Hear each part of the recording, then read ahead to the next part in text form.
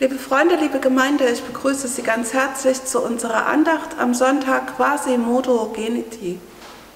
Wir wollen beginnen im Namen Gottes des Vaters und des Sohnes und des Heiligen Geistes. Amen. Lasst uns beten. Ewiger Gott, wir danken dir für die österliche Freude, mit der du unsere Herzen erfüllt hast. Wir danken dir für die unterschiedlichen Möglichkeiten und Wege, wie wir sie in die Welt hinaustragen konnten. Und wir wollen dich bitten, hilf, dass sie in unserem Herzen lebendig bleibt und ausstrahle auf die Menschen, mit denen wir zusammen sind. Das bitten wir durch Jesus Christus, deinen Sohn, der mit dir lebt und regiert in der Einheit mit dem Heiligen Geist, von nun an bis in Ewigkeit. Amen.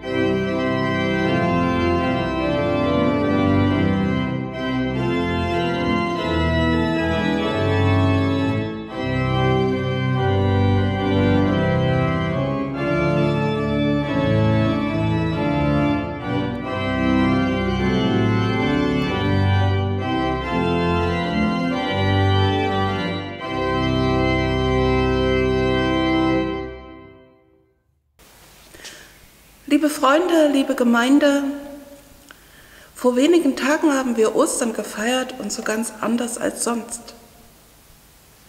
Und doch war es Ostern. Die Glocken läuteten und dieses Mal habe ich aus ganz verschiedenen Ecken gehört, Christ ist erstanden. Von den Dächern und Balkonen in den Vorgärten, überall machten sich Christen auf ihre Scheu zu überwinden und draußen vor ihrer Tür, der Herr ist auferstanden, die Auferstehungsbotschaft zu bekünden, zu bezeugen. Wenn man auf unsere Straßen schaut, kann man hin und wieder mit Kreide aufgemalt finden diese Worte, der Herr ist auferstanden. Wir alle sind zu Botschaftern geworden der Osterbotschaft, haben es nicht den in der Kirche überlassen, sondern wir selbst haben den Mund aufgemacht, haben Töne und Worte gefunden.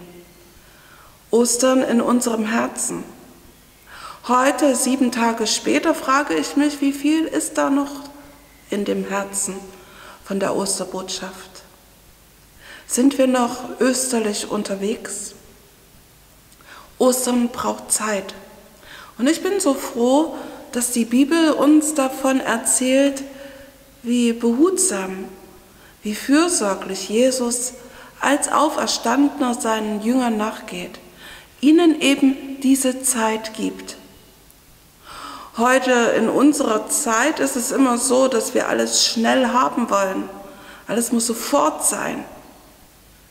Und mühsam lernen wir in diesen Zeiten das Warten, das Sehnen, den neuen Blick.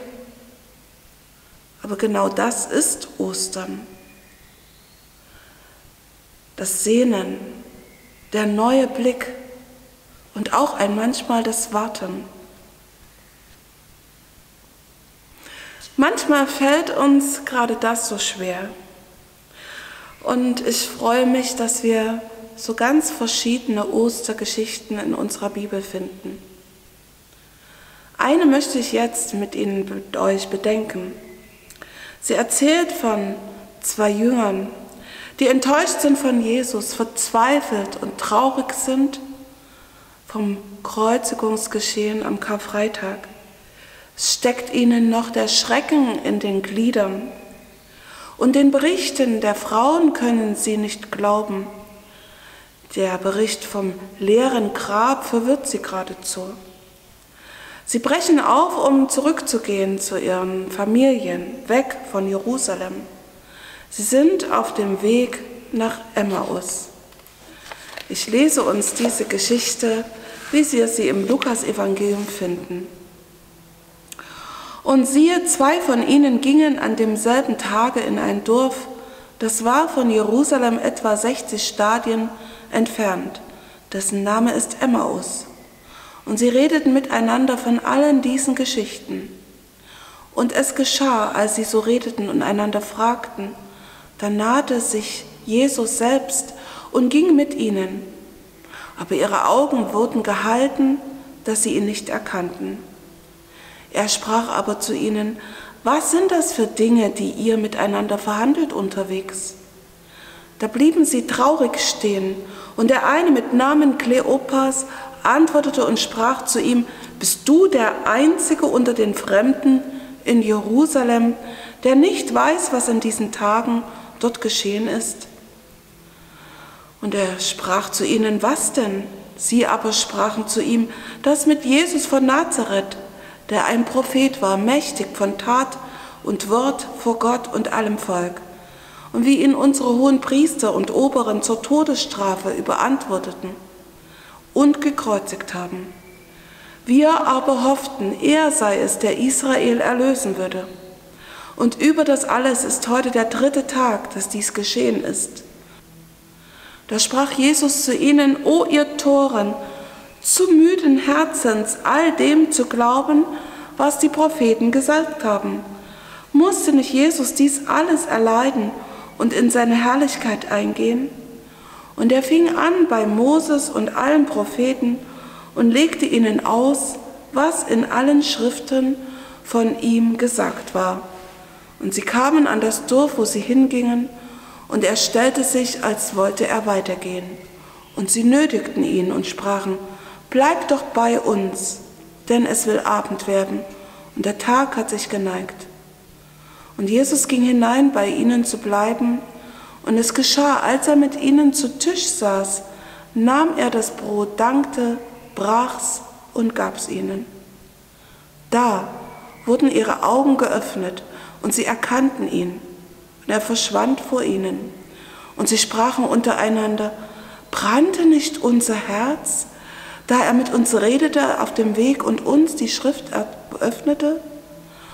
Und sie standen auf zu derselben Stunde, kehrten zurück nach Jerusalem und fanden die Elf versammelt und die bei ihnen waren, die sprachen, der Herr ist wahrhaftig auferstanden und dem Simon erschienen.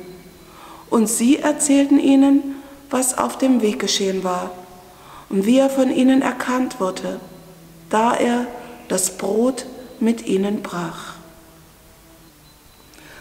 Behutsam und unauffällig tritt der Auferstandene in das Leben der Jünger.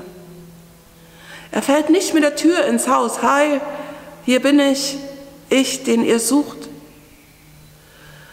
Und ich bin davon überzeugt, dass Jesus so auch in unser Leben tritt. Unauffällig, dass er uns zuhört, auch unsere Klagen, dass er mit uns geht, bei uns bleibt. So geduldig wie Jesus dem Thomas seine Nägelmale zeigt und deutlich macht, dass er das Kreuz nicht hinter sich, sondern an sich hat. Und ebenso geduldig erklärt er den beiden, dass Erlösung nicht an Leid und Kreuz vorbeigeht. Und Auferstehung, Leid und Kreuz nicht beseitigen. Es ist eine österliche Bibelstunde, angefangen bei Moses bis hin zu den Propheten. Und das Schöne an dieser Geschichte ist eben die Zeit, die sie sich nimmt. Dass Jesus nicht einfach plötzlich da ist und dann wieder verschwindet, sondern Zeit hat, mitzugehen, zuzuhören. Miteinander die Schrift zu bedenken, Zeit hat zu bleiben und das Brot zu brechen. Die Augen gehen ihnen auf beim Brotbrechen. Sie erkennen den Auferstandenen. Und dann erst verschwindet Jesus. Dann klingt die Geschichte aus, wie sie begonnen hat. Jesus ist nicht sichtbar da. Aber die Jünger machen sich auf den Weg. Sie sind jetzt andere geworden. In ihrem Inneren ist etwas passiert. Nichts Spektakuläres, äußerlich für die Welt Sichtbares. Bevor sie wieder aufbrechen, halten sie das fest. Was passiert ist, brannte nicht unser Herz unterwegs, als er mit uns redete und uns die Schrift erklärte. Ihr Lieben, heute ist quasi Modo Genitiv, dieser wunderbare Name dieses Sonntags.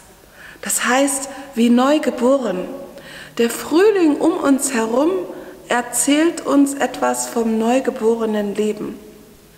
Und im Wochenspruch hören wir etwas davon, dass es Gnade ist, ein Geschenk ist, glauben zu dürfen. Dass es keine Selbstverständlichkeit ist, wenn man an Jesus, an Gott glaubt, wenn man daran glaubt, dass der Tod nicht das Ende ist, wenn man daran glaubt, dass wir geliebt sind und dass Jesus für uns gestorben und auferstanden ist. Und der Wochenspruch sagt auch wofür. Dieses Geschenk des Glaubens hat Gott uns gemacht, damit wir anders leben, damit wir wie neu geboren leben. Deshalb der Name des Sonntags. Wie neu geborene Kinder sollen wir sein, Hoffnungszeichen für andere Menschen, ihnen etwas von unserer Hoffnung weitergeben.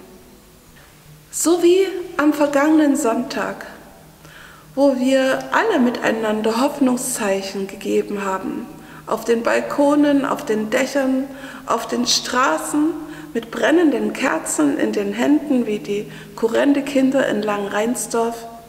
Ja, viele Hoffnungszeichen konnte man da sehen. Und ich denke, diese Geschichte ermutigt uns dazu, unseren Lebensweg genau als einen solchen Weg zu betrachten. Äh, wir wohnen in Sachsen, in Deutschland oder in der Welt. Unser Weg führt uns immer auf der Strecke zwischen Jerusalem und Emmaus. Die Frage ist nur, in welche Richtung sind wir unterwegs? Geht es noch nach Emmaus oder schon nach Jerusalem? Wir sind berufen, Zeugen der Hoffnung zu sein. Und der Auferstandene geht dir nach, ist bei dir, hört dir zu und spricht zu dir durch sein Wort, damit dein Herz wieder zu brennen beginnt damit du weißt, wohin es geht. Wir gehen auf das Brotbrechen zu. Ja, auch ich habe eine große Sehnsucht nach der Gemeinschaft beim Abendmahl. Aber ich weiß, es wird sein. Und jetzt schon ist Jesus bei uns. Es ist unser Weg als Einzelne, als Familien, als Gemeinde, als Kirche und Christenheit. Und von daher haben wir ja eine Ahnung, aber immerhin schon eine Ahnung, dass am Ende, ganz am Ende, unser Weg nach Jerusalem hinaufläuft, zum Zion, und wir beim großen Mahl alle und alles erkennen. Aber bis dahin sind wir unterwegs, wie gesagt, nicht allein. Und vielleicht dürfen wir anderen Wegbegleiter sein. Vielleicht müssen wir ihnen ein Stückchen nachlaufen und ihnen das sagen, was wirklich den Unterschied macht. Der Herr ist auferstanden. Er ist bei uns. Jesus lebt. Und wir, du und ich, sollen auch leben. Amen.